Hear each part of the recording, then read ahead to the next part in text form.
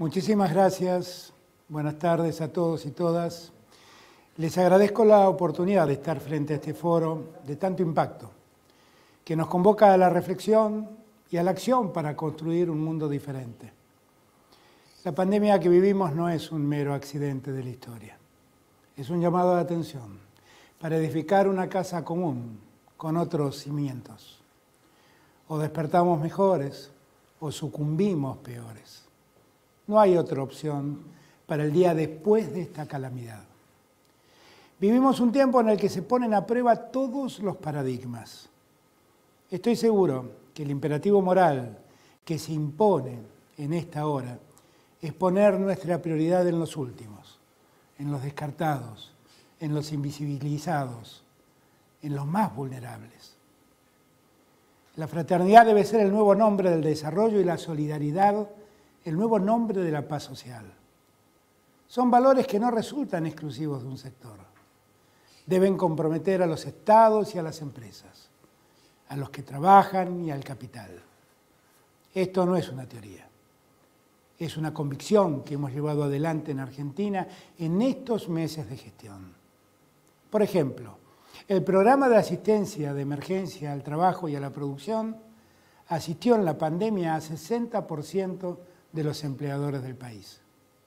En ese mismo tiempo lanzamos una línea de crédito garantizada por el Estado a tasa cero para trabajadores independientes.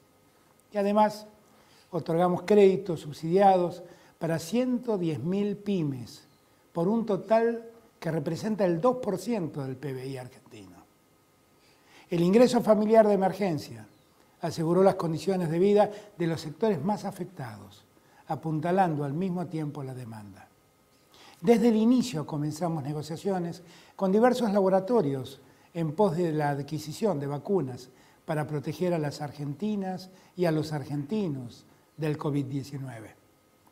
La pandemia nos demostró, una vez más, que para lidiar con los grandes desafíos globales debemos cooperar entre actores públicos y privados y que la vacuna debe ser considerada un bien público global.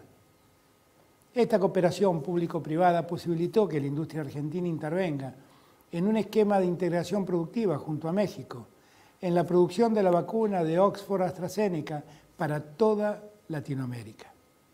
Esto nos permitirá impulsar una campaña de vacunación que preserva primero a los sectores más expuestos al riesgo de la pandemia. Las medidas adoptadas han sido fundamentales para iniciar una recuperación que está siendo más veloz de lo que pensábamos hace apenas unos meses.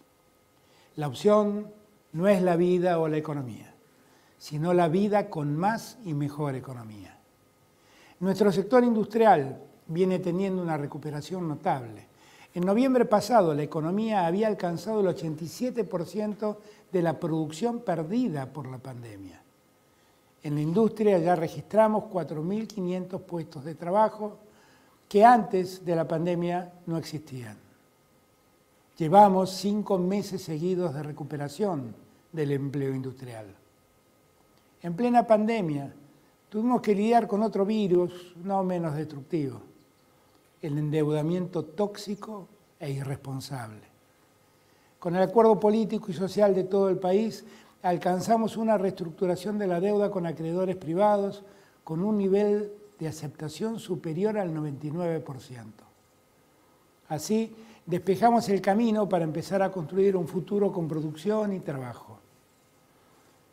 El diálogo con el Fondo Monetario Internacional está en marcha y ha sido hasta aquí muy constructivo. Hemos recibido innumerables apoyos, tanto de la comunidad internacional como de, los miembros del G20. La renegociación de las condiciones del acuerdo con el Fondo Monetario Internacional, incorporará nuevas perspectivas macroeconómicas y un entendimiento común de las necesidades específicas de la economía local. No hay más lugar para ajustes irresponsables, imposibles de cumplir, que perjudican la credibilidad tanto de nosotros como dirigentes, como de quienes otorgan asistencias irreales. El programa que se acuerde con el fondo será enviado al Congreso Nacional para involucrar a toda la dirigencia política argentina en un camino de desarrollo que tenga la sustentabilidad de la deuda, la inclusión social y la transparencia como políticas de Estado. Un hecho histórico para el país, sin dudas. No es el tiempo del conformismo, sino de la transición, de la transformación. Nosotros observamos los desafíos que se suscitan de la crisis actual como un punto de inflexión para avanzar en el gran reinicio que tanto pregona Klaus Schwab. En este escenario es necesario vincular el multilateralismo con un concepto de multisolidaridad que involucre a estados, empresas y también a trabajadores. La articulación y los consensos públicos, privados, exigen la apertura a un espacio de diálogo y trabajo plural en Argentina, que tendrá como misión generar las condiciones para la construcción de una visión común de país. Por eso mi gobierno ha decidido que se inicia prontamente un Consejo Económico y Social para el Desarrollo, que convocará en sentido amplio y permanente a todos los actores del país a consolidar rumbos previsibles de mediano y largo plazo. Nuestro compromiso con la inversión, la producción y el trabajo es absoluto. El sector privado es un socio esencial para afrontar las reformas que permitan la escalada productiva y tecnológica de la Argentina, tan esencial como lo es la fuerza del trabajo. Argentina pretende demostrar que es posible conciliar políticas económicas que fomenten inversiones del sector privado y que al mismo tiempo protejan a los sectores más vulnerables.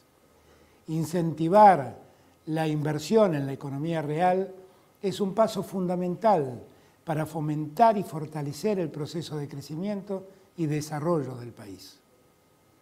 Sabemos y comprendemos que para poder invertir hace falta financiamiento y previsibilidad. Estamos comprometidos en avanzar en el camino hacia una recuperación sostenible y alineada con los objetivos climáticos acordados en el Acuerdo de París. Estamos seguros, el desarrollo del futuro será verde o no va a ser.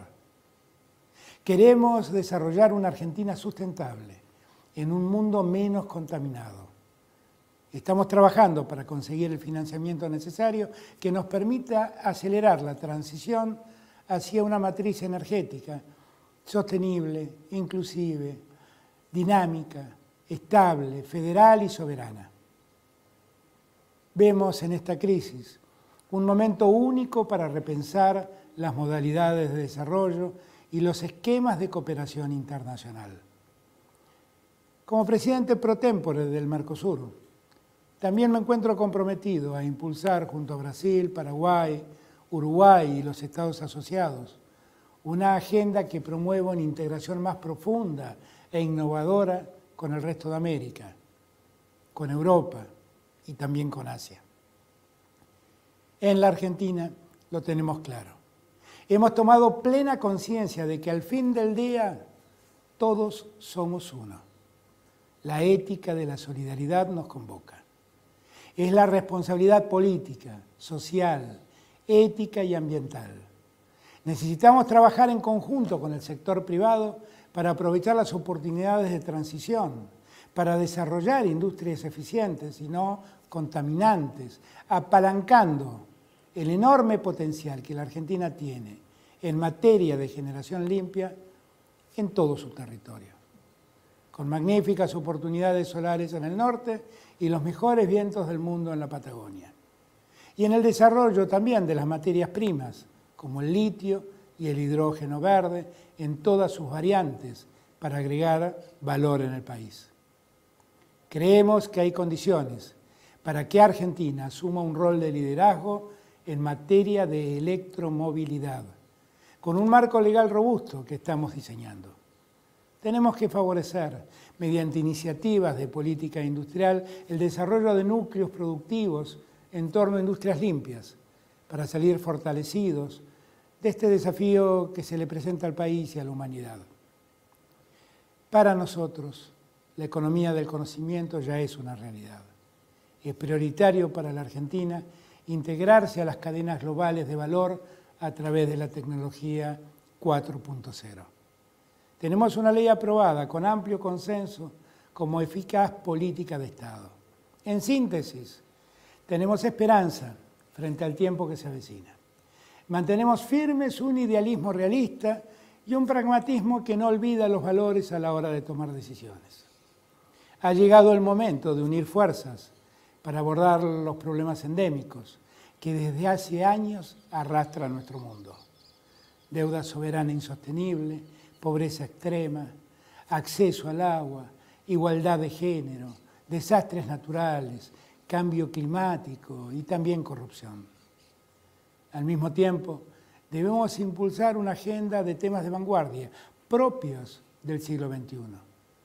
El futuro de la educación y el trabajo, la telemedicina, las cadenas productivas 4.0, la inclusión digital, el definitivo empoderamiento de las mujeres y, por supuesto, la infraestructura verde. No estoy hablando de temas tecnocráticos ni de hojas de cálculos propias de un Excel. Estoy hablando de temas existenciales que requieren una ciencia política y una ciencia económica que caminen juntas, iluminadas por la pasión de hacer de este mundo una tierra mejor. La economía debe recuperar el sentido ético que ha perdido. Nuestro querido Papa Francisco lanzó el año pasado una convocatoria universal a pensar otro modo de hacer economía. Coordinó ese encuentro mundial allí en Asís, en Italia, el economista Luigino Bruni, que acaba de publicar un libro titulado Capitalismo infeliz. Ese título, Capitalismo infeliz, me parece una magnífica definición de lo que debemos dejar atrás. Ahora, el Pacto Solidario Global es la meta que tenemos por delante. Tenemos que superar la infelicidad opulenta de sociedades que descartan a los más débiles e idolatran la ganancia desenfrenada y deshumanizada de un modo amoral. Ni la economía ni la política son un mero, son un mero contrato, sino un conjunto de relaciones entre seres humanos donde las heridas, los sueños y las expectativas del otro también cuentan a la hora de construir decisiones y mirar con ojos nuevos los horizontes del futuro. ¿Es ahora o nunca? Podemos elegir ser meros observadores de un mundo de lento crecimiento y de creciente desigualdad, despreocupado del medio ambiente, y dedicarnos, como hasta ahora, a los negocios. O podemos optar por actuar con valentía y decidir ser protagonistas en la tarea de sentar las nuevas bases para un enfoque innovador hacia un desarrollo sustentable e inclusivo. De esta pandemia debe nacer un mundo mejor. Es nuestra responsabilidad hacer que esto suceda desde Argentina. Los invito a ser socios en esta tarea. Muchísimas gracias.